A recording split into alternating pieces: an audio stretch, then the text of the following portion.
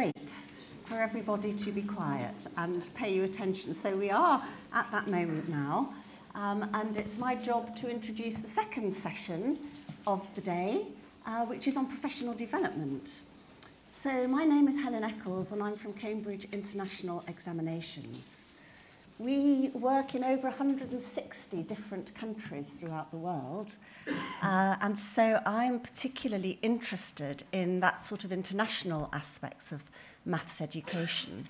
And I should also, I also want to mention that I'm not a mathematician myself. Chemistry is my subject.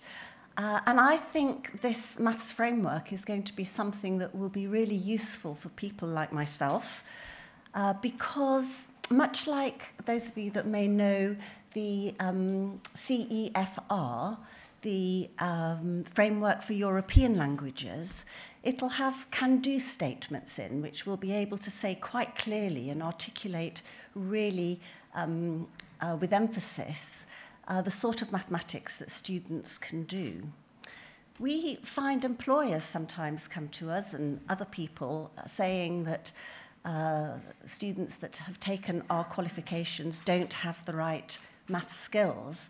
And when we ask them, well, what are the math skills that you want them to have, uh, it's very difficult for them to reply. So again, I'm hoping that the maths framework will be something that will enable people to sort of point and show us so we can design much better syllabuses, specifications and assessments. So we're thinking about the professional development aspect.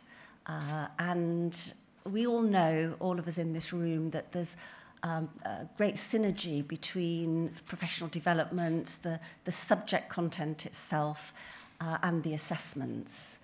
The assessments are, are, are going to be mapped to the domains as a kind of signposting so that that gives the framework and architecture Uh, but we're thinking about the professional development right now, and I'd also like us to think of that in, in the same kind of architectural way.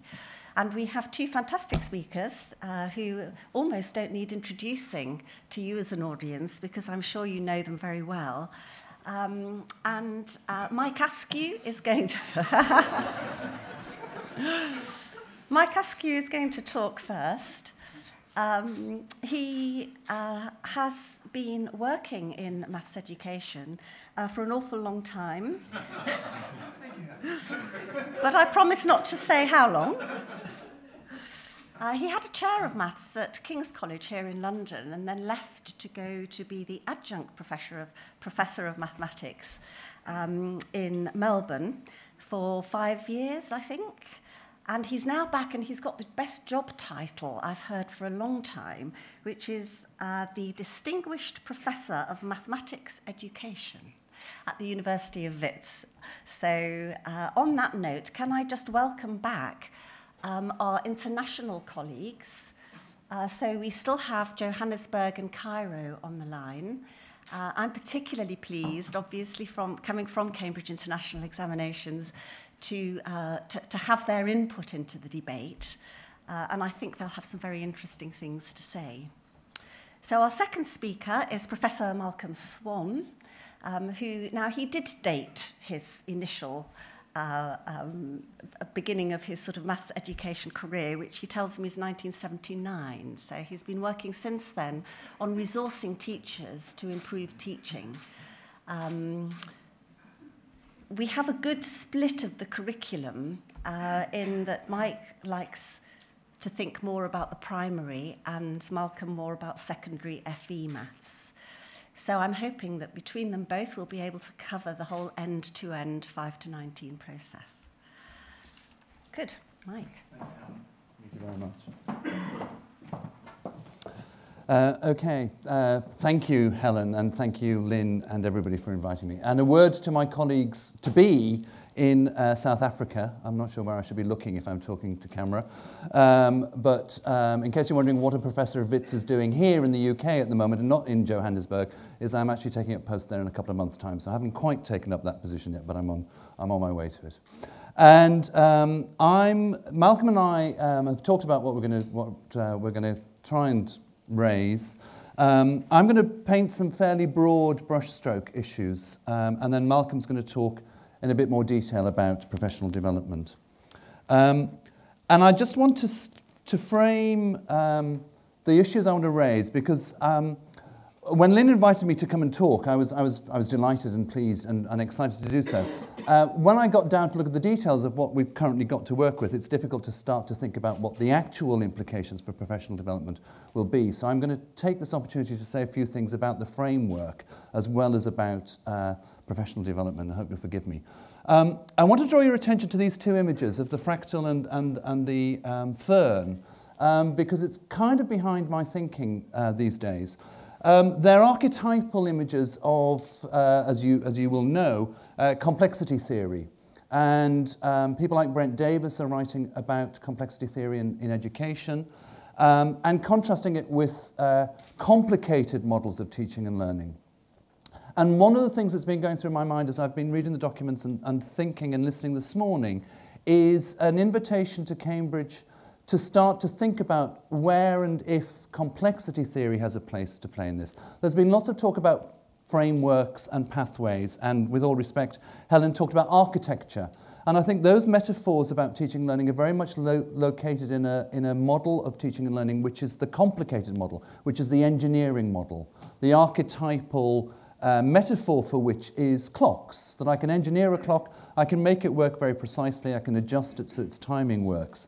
Um, complexity theory is much more organic in its metaphors um, and much more about growth and emergence rather than engineering. And I think there's a tension here in pre presenting something that, that manages to capture both of those. And I think Margaret touched on how we might begin to explore that in this idea of, of zooming in, that of course the archetypal image in complexity theory is, is the, this image of self-similarity, that zooming in on part of the, of the fractal, zooming in on part of the fern, you're getting a replication of what the thing looks like from a distance. And I think some way of thinking about how we zoom in on, on these would be helpful.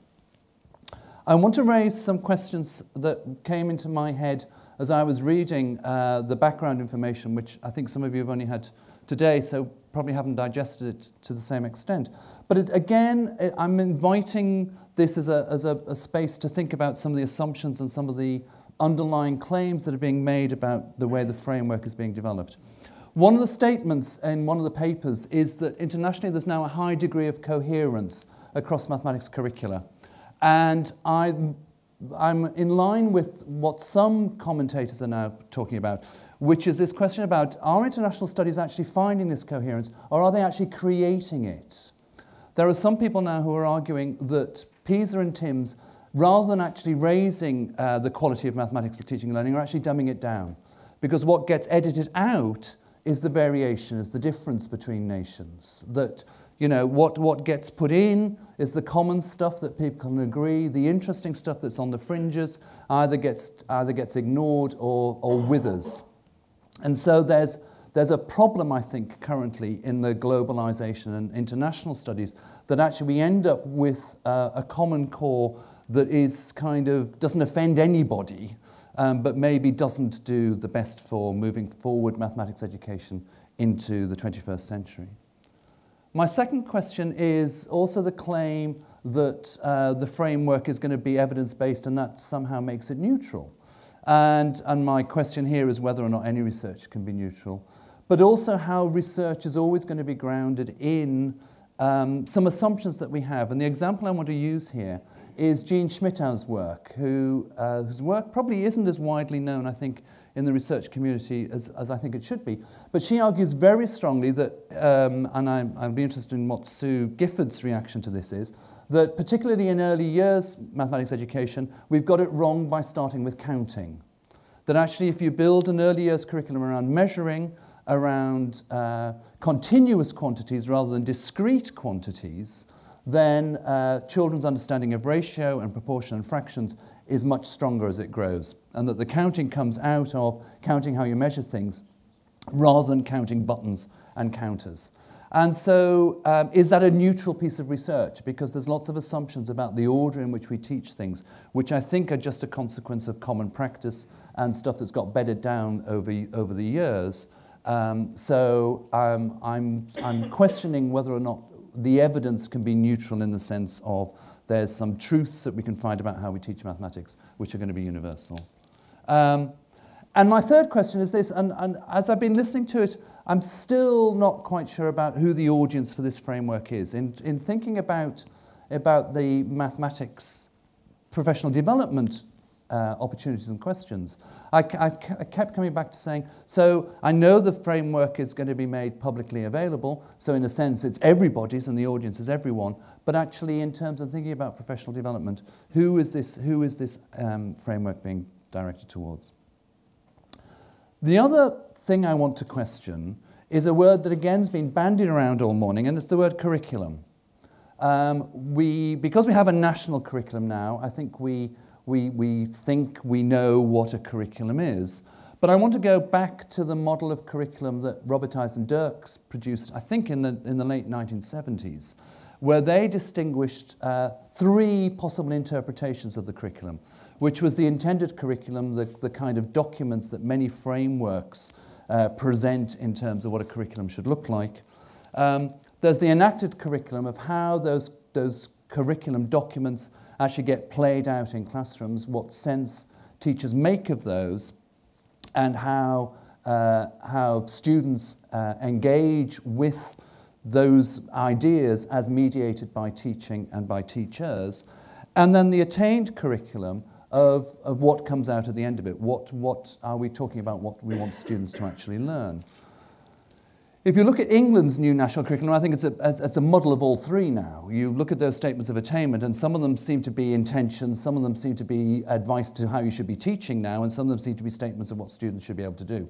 And so there's a kind of melding of these together now in this kind of hybrid curriculum.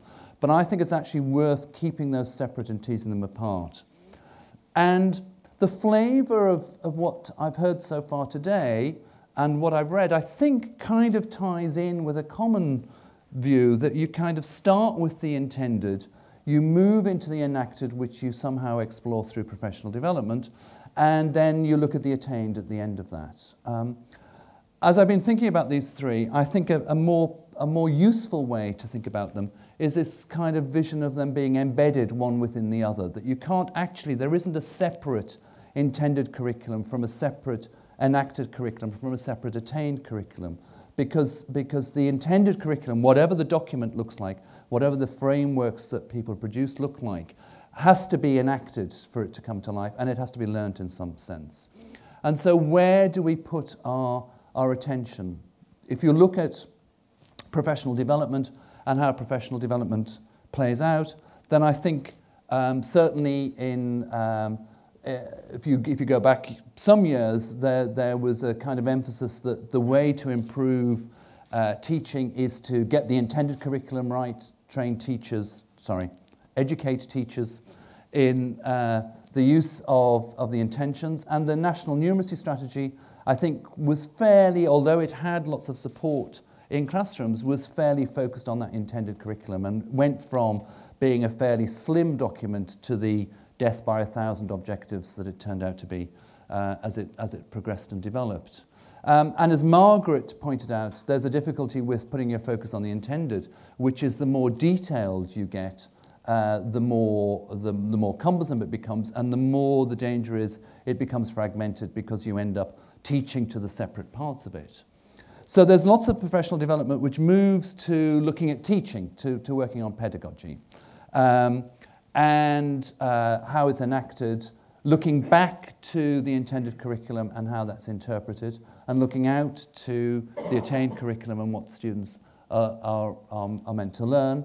And I think there's a place for that, and we know that as far as professional development is concerned, that probably the most, and I know Malcolm's going to talk more about this, but in terms of changing actual pedagogic practices, um, it's um, things like co-coaching, going and watching each other teach, um, and being engaged in developing practices together that actually makes a big difference there. And I think one of, of course, the challenges then to something like the Cambridge framework is how do you do that in what is going to be a virtual online environment. Um, there may well be potential to have uh, on the ground work in, in various places, but who knows how that'll, how that'll pan out. But I think we're now in a space where, certainly as far as primary mathematics is concerned, and I think to maybe to a lesser extent in secondary, but I think it's still there, and it was a bit touched on this morning, which is that we need to really shift the focus on what it is we actually want students to attain. That, that we know that the interpretation of the intentions, as it gets mediated through into the enacted, still is, is driven by what it is teachers think um, it, we want the, the students to be able to do. And for an example, one of the projects Margaret and I were involved with, she showed a piece of research from it. We sent out to schools, we were interested in, some of you will know the old stamps problem, which is if you're, you go into the bottom drawer of your desk and you find a, a pile of 5p and 2p stamps, um, and what, what weight, what stamp amounts can you put on packages? and what can't you put on packages.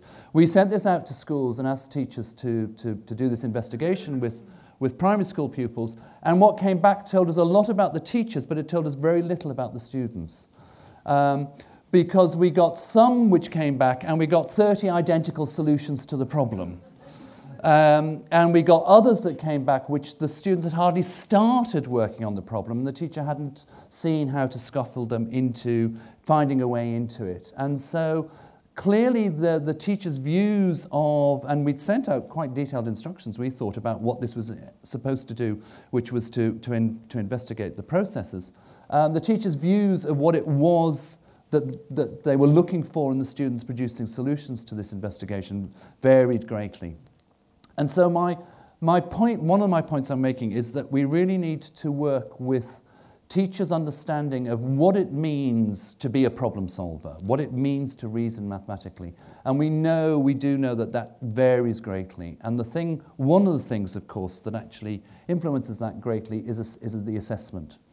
And so I don't want to go back to the slide, but at the moment I'm kind of hearing in the discussion that this process is, although assessment is, is kind of being nodded at, that the, the assessment is at the moment, sorry, the process at the moment is sounding like a forward design from the framework through to the assessment. Um, I'm making a plea for some backward work on looking at the assessments. Um, and in making that plea, and I know we're going to be talking about assessments, but I think it's another thing, another thing I want to flag about some claims about neutrality and that the framework, if you look at the examples we've been given, tends to imply that it's kind of assessment neutral, that I can take any assessment and map it onto the framework. And I was heartened by Lynn saying this will have a Cambridge vision, this will be Cambridge mathematics. And so I think I would encourage them to bite the bullet about saying these are the sorts of assessments that we think are quality assessments that help teachers understand what good, rich learning looks like, um, not that you can use this framework to judge any, any assessment. Um, just a couple of things about uh, professional development. Um, beautiful. Um, this is taken from uh, the OECD Teaching and Learning in Schools study, which is probably less well known, I think, than the, than the PISA study outside this room. I'm sure people here know it. Um, but it's just uh, an indication of the things that teachers report making moderate uh, or high impact and their amount of, of uh, participation in it. So individual and collaborative research um, is reported as having one of the highest impacts, but the lowest amount of involvement. Um, uh, whereas um, informal dialogue to produce teaching is designed, is, is reported as, as high professional development, and, but rather uh, slightly less impact. Um, but down here, education conferences and seminars, quite high, um, but less impact. Um, so it's just raising some issues about the sorts of professional development that uh, teachers themselves say value, and Malcolm, I know, is going to pick up on this. But this is the other, another slide from here, and what this is showing, the upper line is uh, teachers basically getting together to plan for teaching, and the bottom line is teachers looking at the outcomes of that teaching. As you can see, as teachers spend more time planning what their inputs are, they spend less time planning, looking at the outputs of that. And one of the things that I think the, the, the, research in professional development, again, is showing is that if we get teachers really focused on the outcomes, we can worry less about the inputs if there's an agreement about what it is we want the students to learn. And interestingly, um, uh, oh, sorry, sorry, just before, and I am going to finish in a minute. So I'm, I'm, I'm making a plea that professional development needs to make learning studyable, not necessarily the teaching. Um, and that might come through actual practices like co-observation of each other. Um, lesson study is a, is a very powerful way that that's being explored. Um, but also maybe uh, in an online environment, we can encourage teachers to work with records of practice by looking at student work outcomes, um, the sort of assessments that they're producing for each other, uh, and videos. Um, I haven't read, I don't think it's out yet, the Paul Ernest's new chapter, but I actually, I'm going to go even a bit further back than Margaret went and finish off with um, Alfred North Whitehead on education, writing about it uh, in the 1930s. And he talks about learning going, um, having three components to it. Uh, precision, which I think frameworks can actually do something about precision. They can actually tell you about the content, about the skills. Uh, about generality, which is the processes side of it. But his term, he doesn't talk about um, appreciation, he talks about romance. Um, and I like the idea of engaging teachers in a romantic relationship with mathematics. Um, uh, we could have math.com as a, uh, as a contrast to match.com. Um, and so my questions I want to finish on are these three. Um, so I'm saying that I think assessment is one of the powerful ways that views of learning is shaped. Um, I'm reading at the moment that the, new, the, the, framework wants to be kind of assessment neutral. Is that a good thing? Um, my second question is, and I think Malcolm's going to say something about this, is what sort of professional development can have learning at its centre and not just a focus on unpacking curriculum statements or, unpack, or looking at styles of pedagogy. And finally, how can we help teachers find the romance in mathematics? Thank you very much indeed. Say again. Say again. Spell the name wrong. Okay. How do you do this? How do you switch this forward? Ah, there we go. Right, what, what I'd like to do to start with is, is raise a few questions what are the purposes and content of professional development? What forms of continuing professional development are most effective? What support resources are necessary and how can it become more scalable? And uh, I think that the first thing I want to say is that um, it's, there's a kind of tension between saying we're going to be evidence-based, but we're going to be visionary because most evidence is about um, how we've performed poorly in the past. And, and when we're trying to create new things, we won't have the evidence for them. So there's a sense in which we have to gather evidence as we go. And so um, I want to look at what are we actually looking at in professional development with teachers. And um, this raises the list, as it were. we can look at trying to raise teachers' proficiency and understanding of the subject and seeing the big ideas. One of the problems we have with teachers at the moment is that we have such a fragmented, fragmented curriculum. Um, and the teachers say to me, you know, they can't see the wood for the trees. They can't see what the big ideas are, what the big themes are. And also there's this, are we, are we, trying to give teachers more awareness of the power of maths and how it's used to model the world and solve problems. So the focus of the teacher is broadened and enlarged. But then there's all the sort of pedagogy stuff. and focus of PD could be about the curriculum. And I want to say something about the multidimensional goals for learning. It's not just about working your way through topics. How do teachers learn to organise schemes of work, make connections and recognise progress? Do teachers begin to grow in their understanding of how students learn maths and the common obstacles to learning? Do they begin to recognise what the powerful teaching looks like and how they should select tasks, sequence them into something that, that is exciting in the classroom and that furthers the content and process goals together. So um, just to illustrate a little bit of this, I'm going to draw on something from uh, a project we've been working on in the US.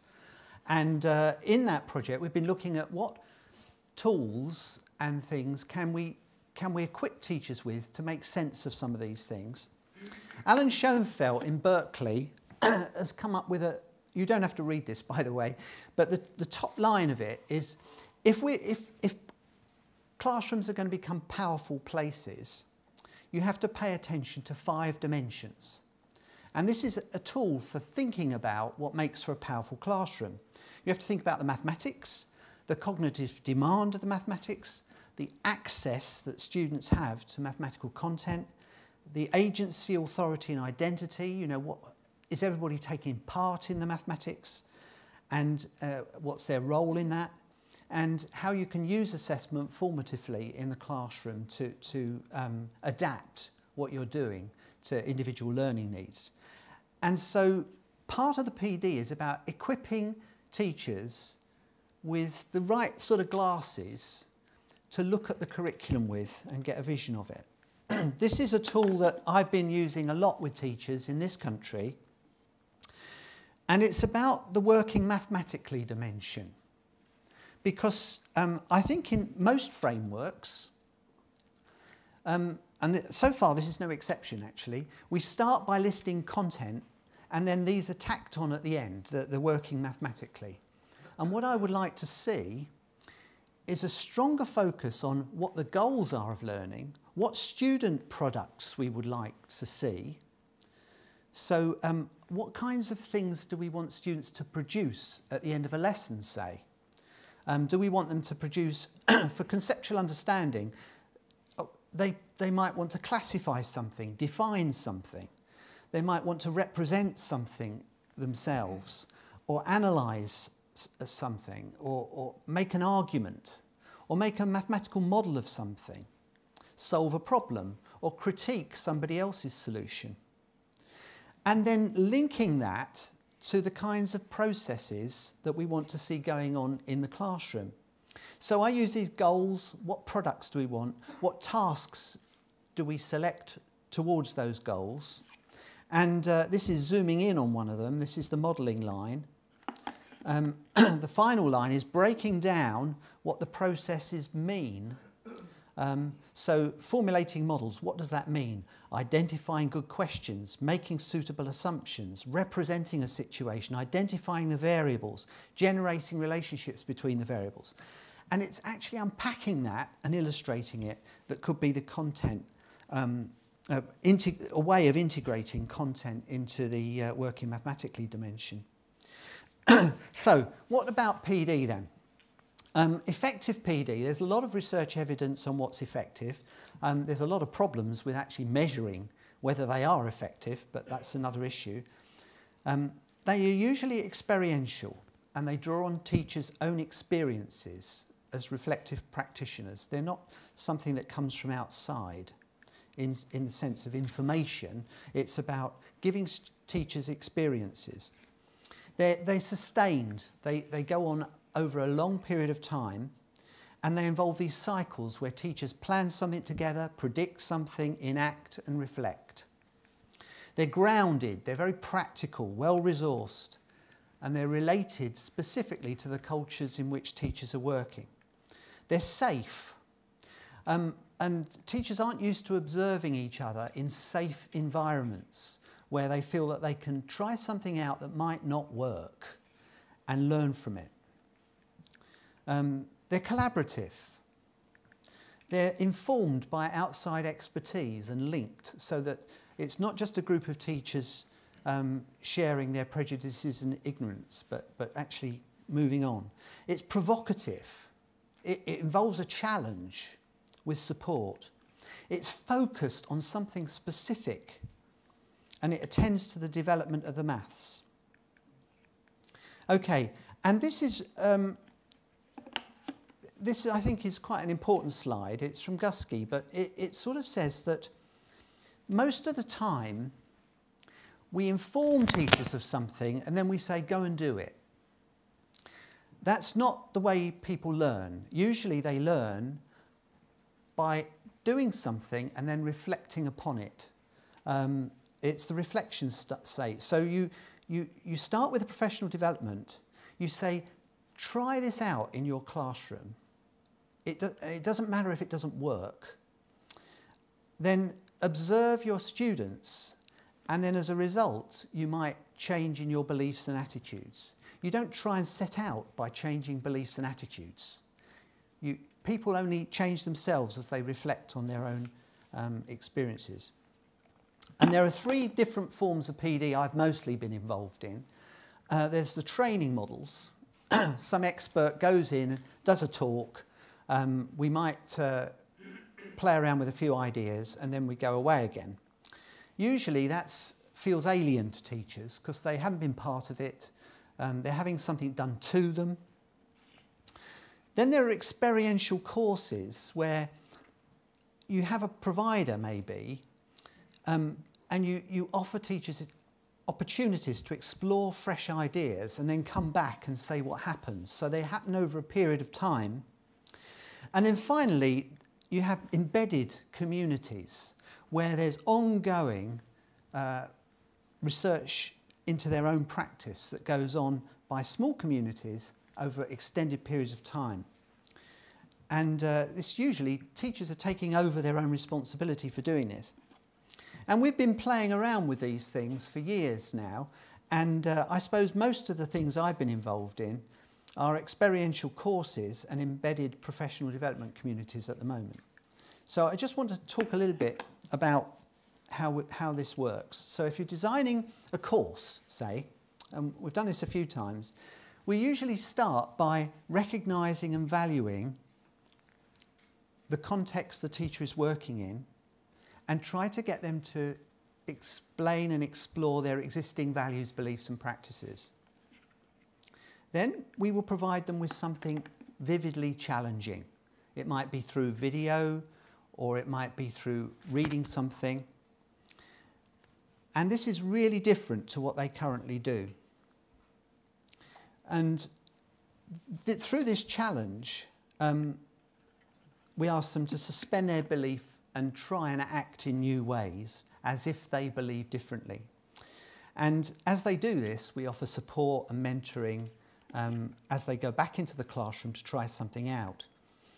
And then they come back together again, and it's taken over them by the teachers who reflect on the experiences they've had, the implications that, uh, that come out of their experiences, and recognise where they've changed and, and talk about where they've changed in their, in their understanding and beliefs and practices.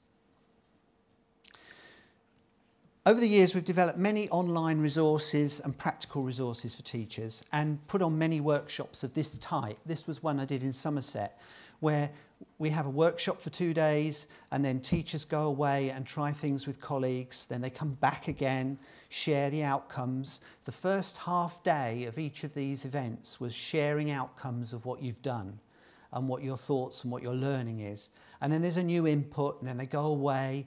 And so these cycles take on a life of their own. And at the end of one of these, you almost have a community that could be self-sustaining because they're used to the rhythm of trying new things out, but they still need resources from the outside.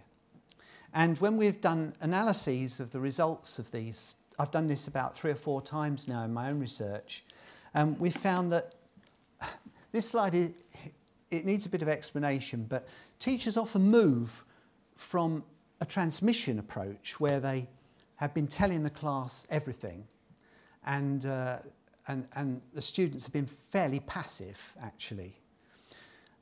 They've usually moved in two directions. One is retrograde. Uh, they move towards individual discovery because they say, I've been saying everything to these students for so long. What I'll do now is I'll withdraw and let them and let them play with the ideas. I've been saying too much. I withdraw, let them discover stuff. That's worse than the place where they started. The other place is where they move in and they challenge students and work with them to, to work on the knowledge together. And that's a better place, that's more effective. And so often the point is professional development, um, people take a path and over time they might move from transmission to discovery to collaborative, connectionist. So they might actually get worse before they get better in terms of effect, put crudely. And uh, that always, that's one of the problems with evaluating whether it's been successful by lo looking at student outcomes. People take a while to learn new things. Now, an illustration of this kind of model scaled up is happening in Sweden now. And I just want to, if you're English, you'll be bowled over by this. From 2012 to 16, all teachers in Sweden receive government initiated PD.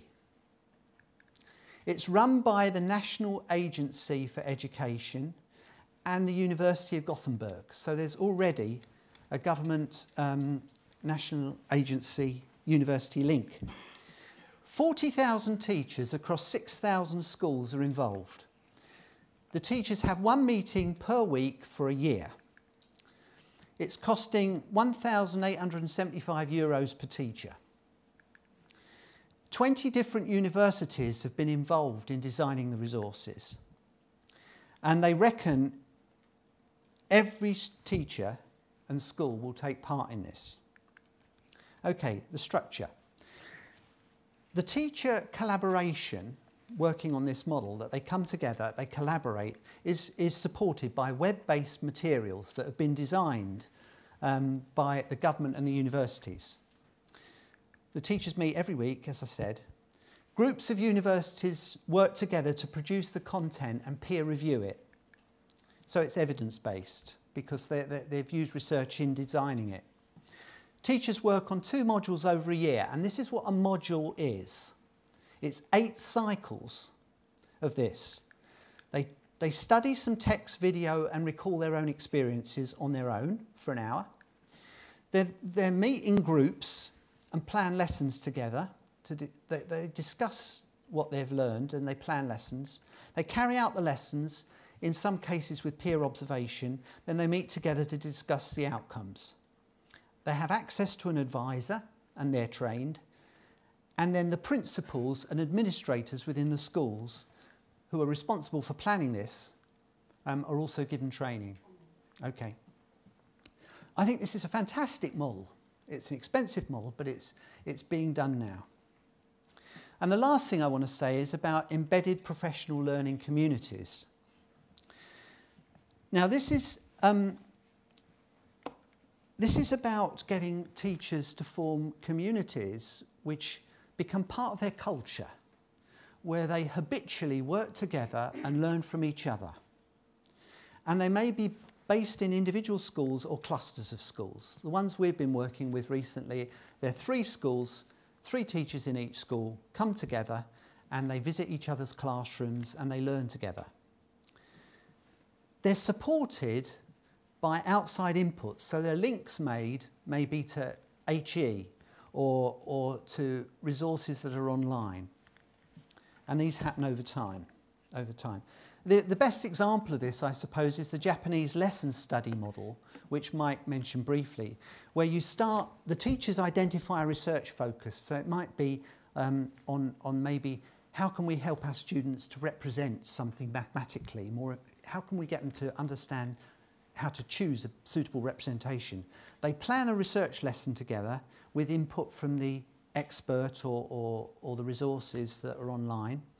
They teach the lesson and observe each other, and then there's a long analysis of the lesson afterwards, which might take an hour or two.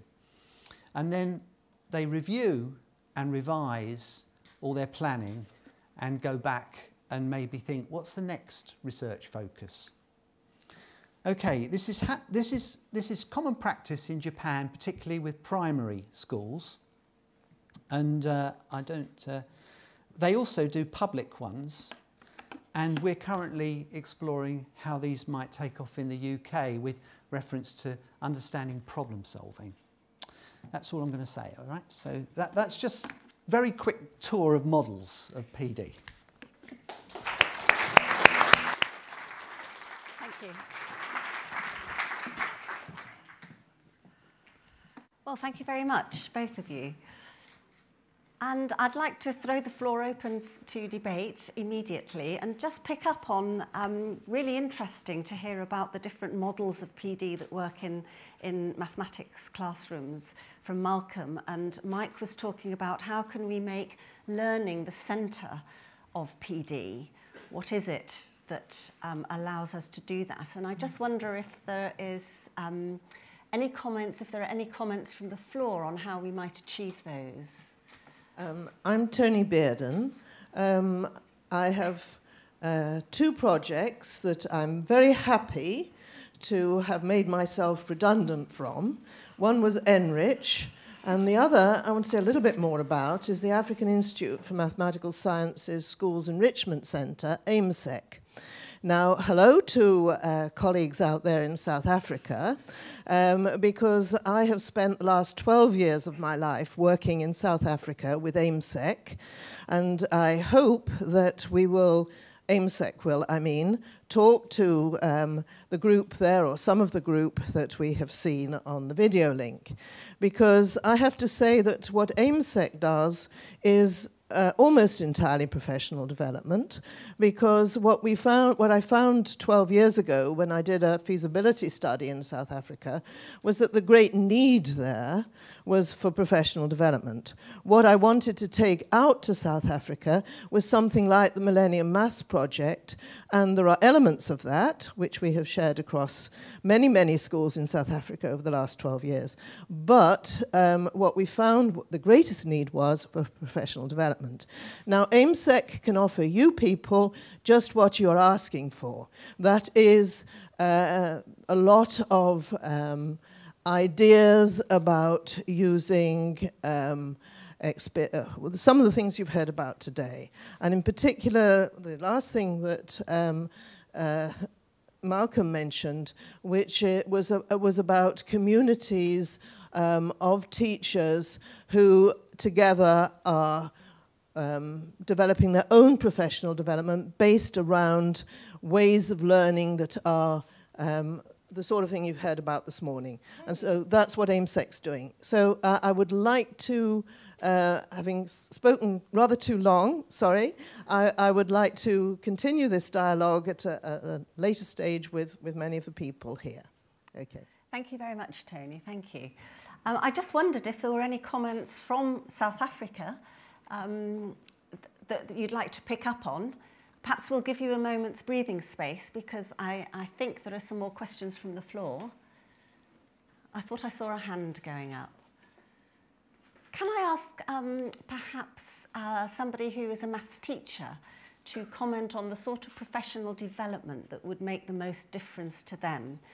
So what we're really aiming for is making the professional development for the Cambridge Maths Framework um, different to, better than, adding value to all the other kinds of really good professional developments that there are out there, or using those best bits and, and putting them all together. So I think we have Daniel Thompson, is it, from who spoke before, who is a maths teacher, and I have asked him before if I could call on him as a practitioner um, for a view from the sharp end Thank you. One day I'll learn to keep my head down and stop getting into these situations, but I never quite seem to manage it. Um, I think the thing that came across to me as you were both giving your presentations is, um, well, something I knew already. It takes a lot of time to improve your practice. Um, the kind of models and interventions you were talking about sound fantastic. I, I talk with my students all the time about the importance of a, a learning community and a, the safe environment in which you can discuss ideas and it's okay to make mistakes and you know just there are no stupid questions. If you're thinking something throw it out there and and we'll work with it. And then in my practice I see a slightly different model. We get observed when it's time to have your lessons rated? Are you an outstanding teacher, a good teacher, or actually do you need improvement? Because if you're not good, you, you need improvement. There's no one, two, three, four. You're either a one or two or in trouble. Um, and I think if I went to my leadership team and said, I would love to start uh, an academic community in the school looking at maths teaching, and ideally I'd like to talk to other schools in Cambridge, they'd say, Great, Dan, you do that in the evening when you're not teaching. Um, so whilst I'm on board, I can see the issue being getting the leadership teams. There's probably a principal in here now who's going to stand up and say, "I would love to do that. It sounds great," um, and it does sound great. I think this idea of an academic community is absolutely key, um, and some of it is about modelling to our students the process of education. I never want to stop learning about mathematics, about teaching, about anything else. I hope I can encourage my students to share that passion for learning, even if it's not maths. Um, it's difficult for me to model that academic community with the current time pressure. Um, the other thing I loved was your, your concentric circles embedded curriculum. I think we absolutely start with this idea of this is what we intend, this is what you're going to teach, this is what they're going to get at the end of it. And, and that seems so obvious now you've said it that it's limited. Um, I also like the idea that what policymakers intend I teach is slightly less than what I do teach. And I'm hopefully stretching that boundary and not just teaching to a test. And again, we're going to start talking about time pressure there. Um, but oh, sorry, I'm going on too long. I'll give it back. Um, no, I'm, I'm uh, uh, aware that South Africa would like to come into the conversation, and having invited them, I think um, it would be good to hear what they say. Absolutely, so, I'm, I'm happy to sit uh, back down. Hello, Johannesburg. Hello there. Yeah, uh, as a head of maths of a, of a, a department of 15, I, I, I, consider it my responsibility to, to take care of the professional development of the teachers in my department. And, um, you know, I have a variety of experience and expertise. And um, it's quite difficult to, you know, in the hours of the school day to, to um, devote time to visiting classrooms and that kind of thing. But I think that that is basically where, where it starts. I think that firstly, you, you need um, more experienced teachers to be visiting the classes of less experienced teachers, offering advice, um, also co teaching. And the other thing that experienced teachers should be doing is teaching the class of less experienced teachers so that they can actually observe um, those kind of things in action. And I think that the, the whole professional development thing idea should be ongoing throughout the year. It shouldn't be sort of uh, when you think it, it's necessary. And also, what schools tend to do is um, often this kind of thing boils down almost to an evaluation, a sort of a tick box, how are you doing, rather than hands on, how do I get better? And um, I think that you know we, have got to keep it real, down to earth, um, professional development, and there's got to be buy-in from all the teachers that they actually want to to get better. So um, yeah, and I, I, having been to sort of various um, workshops and seminars, you know, sometimes, uh, as one of the speakers alluded to, th- those kind of things can be a little bit abstract. Um, and you go away thinking, yes, that was a good idea, but never really implementing it. So that's why it really boils down to the schools themselves to be um, implementing the kind of professional development that that uh, teachers need some interesting perspectives there from both the classroom and um, uh, from the leadership team. Lots of nodding and, and, and, yes. and, shaking of heads amongst these three people here, which this lady there, I'm going to put you on the spot. You seem to, you, you, you had a view, you had a view. Uh, okay, Alison Borthwick, Norfolk, LA. I think the thing that I want to say is that in order to be successful at professional development, you've got to want it in the first place. And I think a lot of teachers don't know what it is they need for professional development. And I'm not sure that individual schools are necessarily the best placed organisations to do that as well. So that's why I was nodding. Okay. Right, thank you. And at the, the back there? It's John Westwell from NCETM. Um, I think you posed the question, what added value might Cambridge Mathematics bring to professional development? We, you know, there, there are two sides to this. We're hearing a bit about the working practices within schools and how teachers learn together, and, and there's a whole domain around that that we would want to encourage. But that might be a little bit more difficult for Cambridge Mathematics to kind of influence. I think the kind of things that would be strong value added is the stimulus and resources. We, we, we, we talk a lot about expertise and where it's located. Um, we, we can make that available more these days um, through online interaction. So I think it's the, the, kind of resources. So it's both connecting people to researchers and their, and their thinking, but picking up on Mike's point, one of the most powerful things that you can um, put in front of teachers is to look at learning and, and, and just high quality video material either of, of classrooms and, and what's happening in terms of teaching, or more at the sort of interview level with youngsters talking about mathematics, uh, can be incredibly stimulating resources for professional development. But they're also quite expensive to make.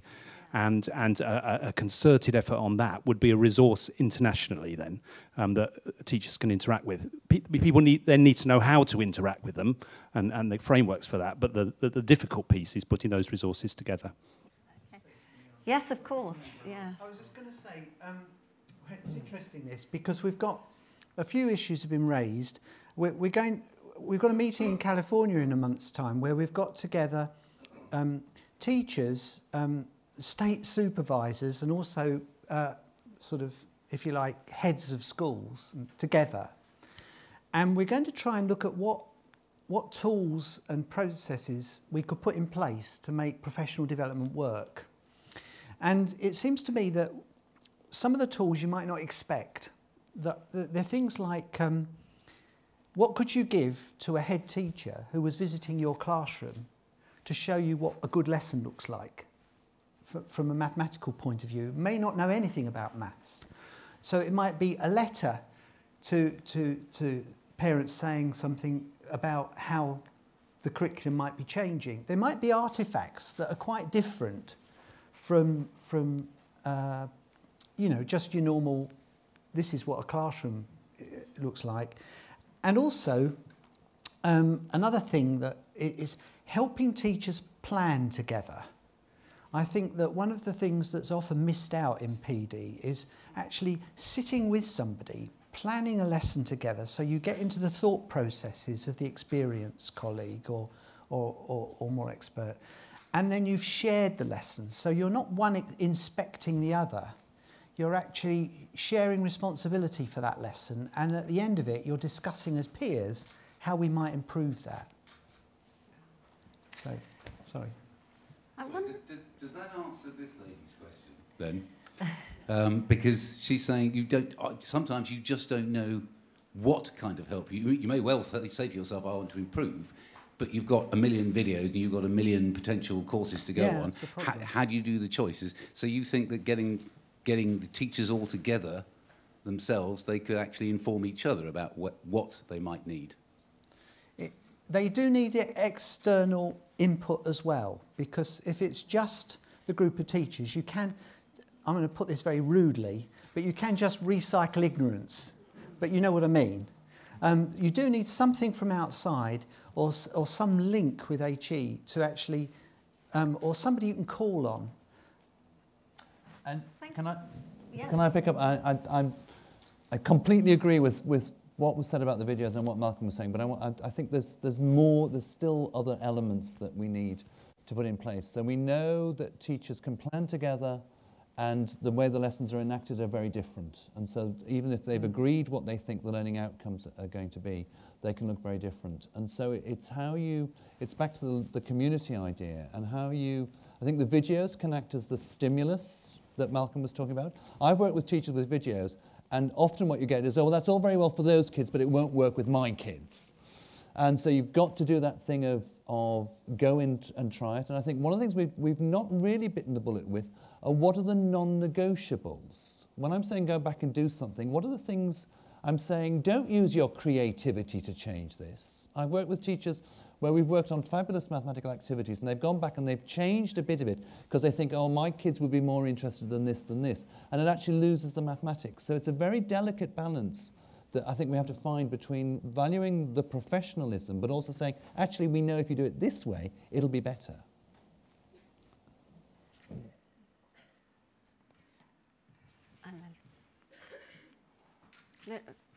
Yes. University of Eindhoven, Netherlands. Um, I think um, this question is very interesting in terms of um, what do we want teachers to develop into, and and who recognizes this this professional development. From what um, Malcolm said, it's very clear that, for example, Sweden has gone a particular way and is recognizing it. I know in Norway they have gone a very similar way, and every teacher has to do professional development, so much professional development. But that doesn't still say something about the sort of aim and, and how do we want teachers to develop. I know that uh, Malcolm knows we can talk about uh, developing questioning and so on, but the general gist, uh, which would go into a framework, for example, if you go to Shanghai, they know what an expert teacher is. They have a particular, this notion of expert teacher, for example, I'm not trying to introduce it into Europe, but when I look around Europe, we don't have such a clear notion about it. Now, should we have it? I don't know. But still, when we think of professional development and what teachers, what we want to do with teachers to go a particular way, I think we need to know what we want them to develop into. And as I said, that it's recognized countrywide or also as something valuable in terms of their career.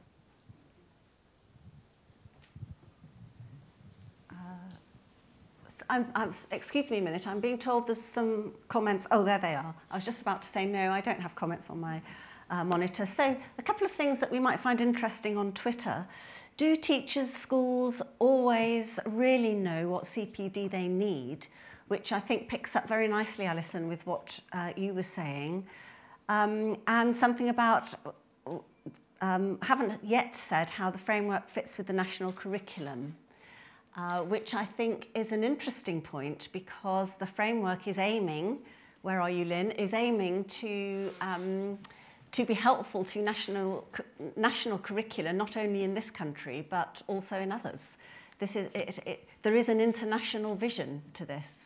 There is. I mean, I, I think one of the rather refreshing things is that the national curriculum is done and dusted for the next five years, so we're not going to be able to affect it, so we shouldn't even try. Um, and it gives us that space to have something which is really worth looking at in five years' time. So we hope that the UK government will be able to look at what we've done and say, gosh, what an awful lot of work has been done um, by Cambridge University and associates. Um, it's evidence based, it's integrated, it's coherent. Why wouldn't they want to look at something? Um, whereas we know that at the moment uh, we have a curriculum which um, has lots of strengths about it. I would say that because I was involved with it. On the other hand, there are lots of weaknesses too, and a lot of those weaknesses were because of the process, which was um, extremely speedy. Um, so uh, it's not intended. The framework is not intended to support the national curriculum in the UK any more than it's intended to support the national curricula everywhere.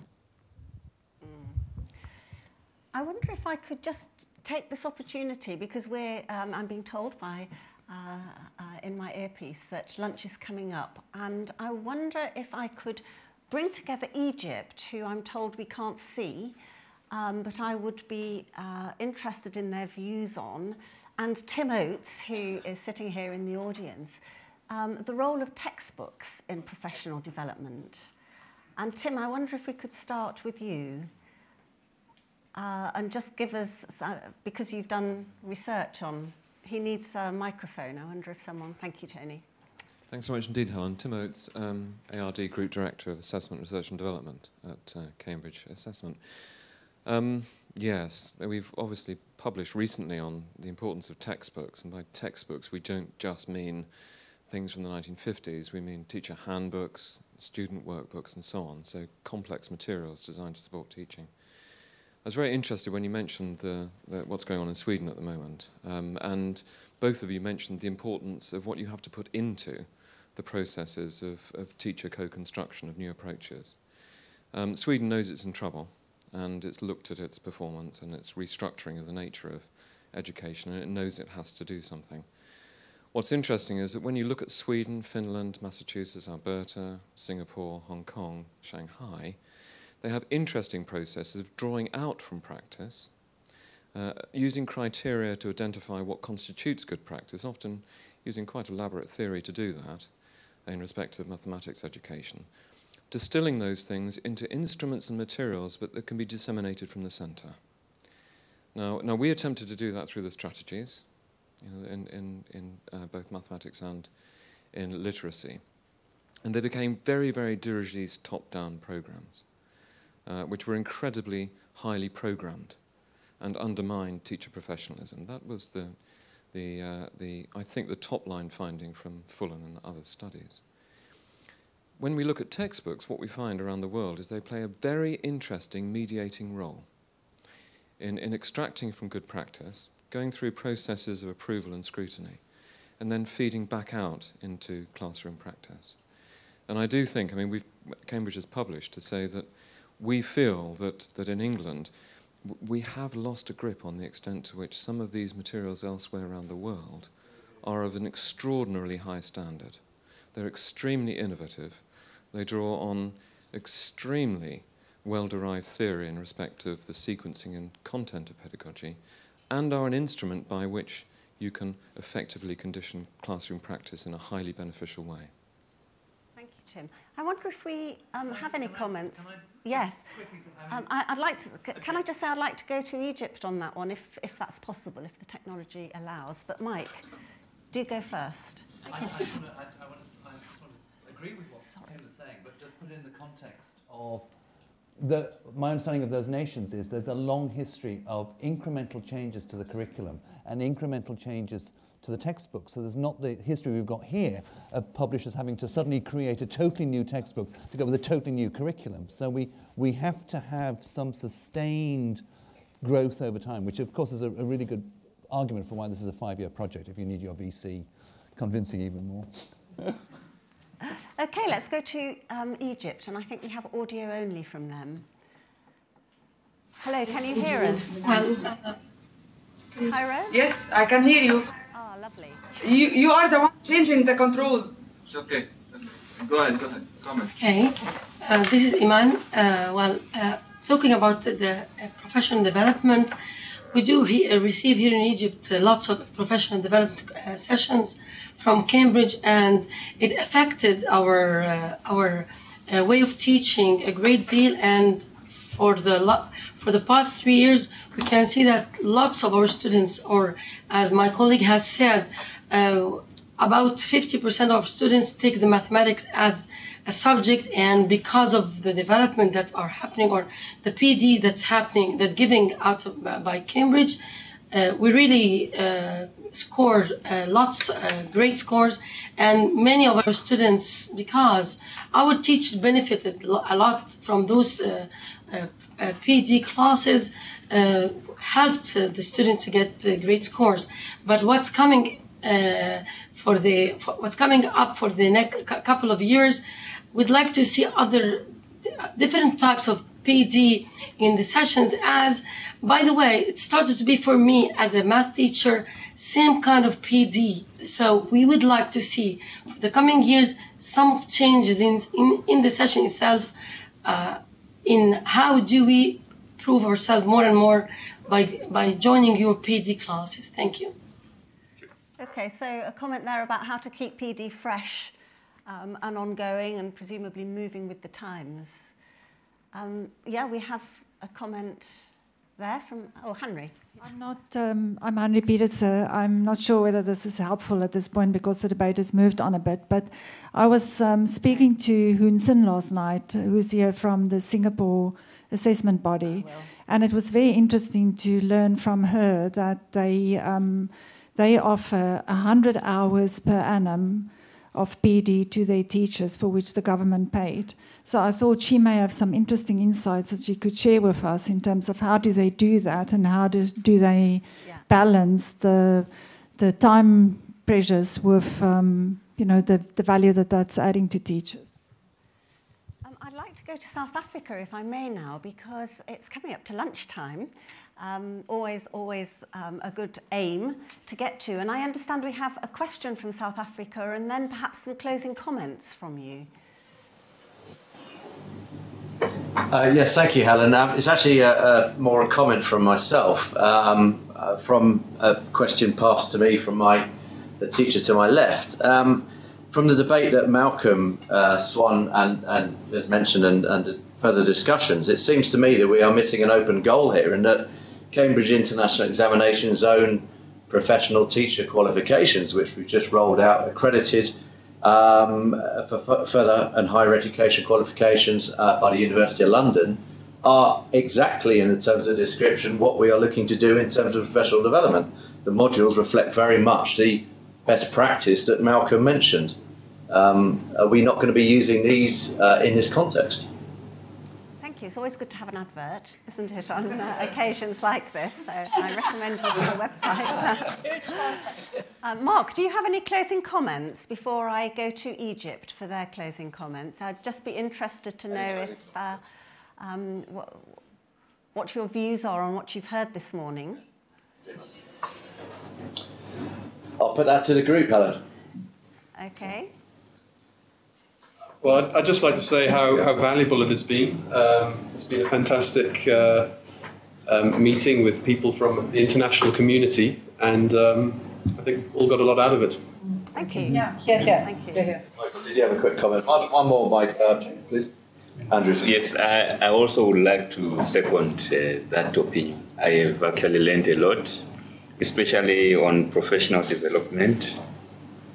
I think teaching at the end, I always want to think of the student. We haven't talked about it in, in as my where do we stand in professional development vis-a-vis our students. Mm. So I think a relationship with your students motivates them a lot. There must be a connection. We can know everything, but if there is no motivational connection, you're actually disconnected, even if you have the best of knowledge. So let's strive to create a motivational relationship. Fantastic. Yeah, yeah. Thank you. Thank you. Is it possible to go to um, uh, Cairo now for their closing remarks? Hello, Michael. Can you hear us? Well, I don't.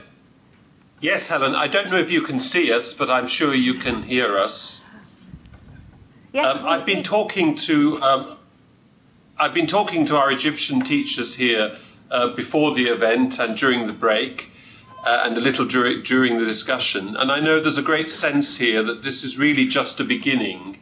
It's been a very stimulating presentation of this huge ambition to build a Cambridge maths framework in five years. And I know I speak for, for our Egyptian friends when I say that what we really want to know is that we can play our part over the next five years. Um, we want to know what's going on.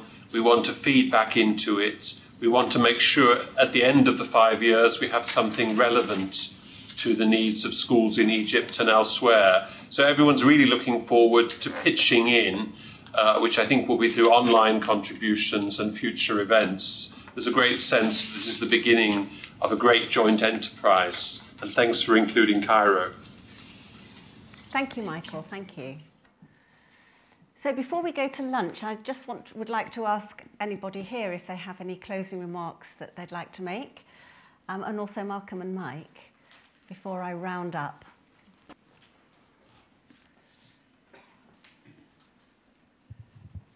Partly addressing Alison's problem and some remarks of, of Malcolm.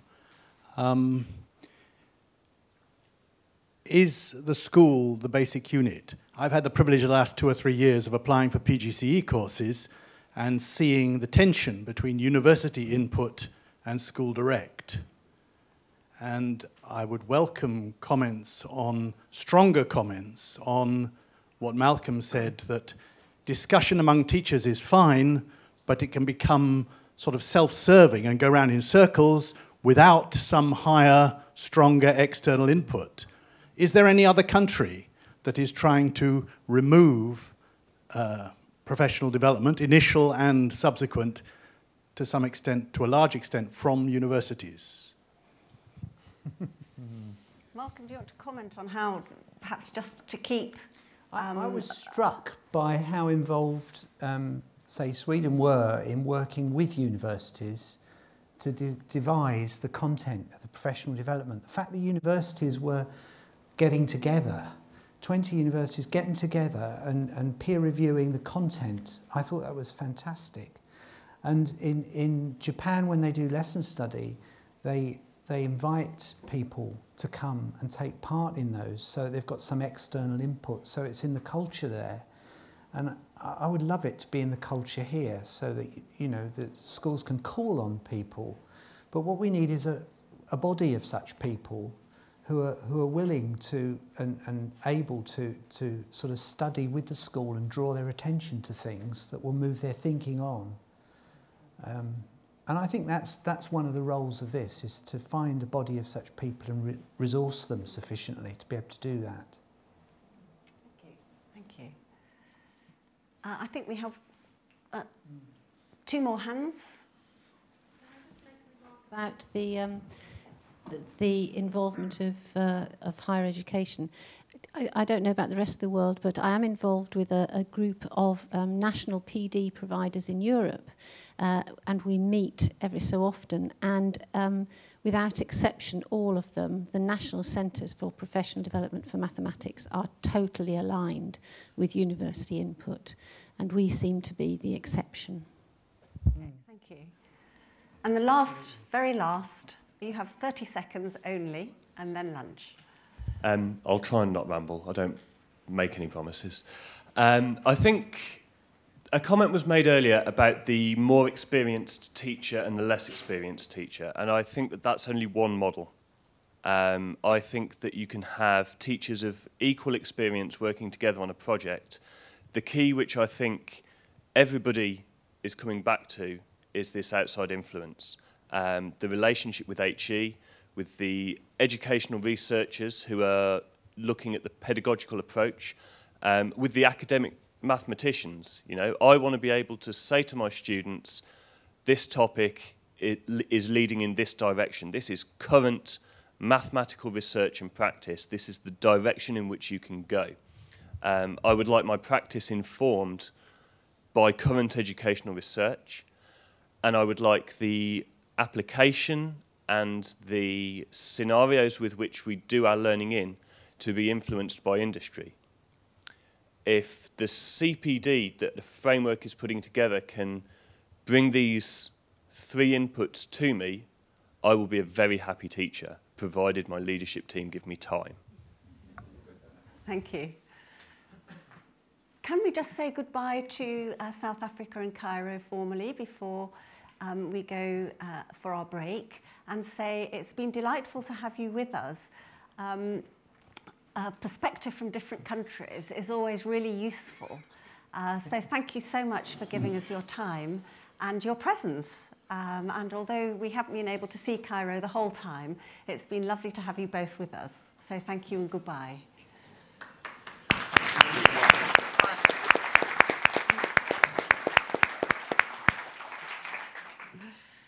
Good. Well, then it just remains for me to say thank you very much to Mike and Malcolm for um, setting out such sort of visions for us to go away and think about on how we can make professional development better and integrate it into the maths, the Cambridge Maths framework.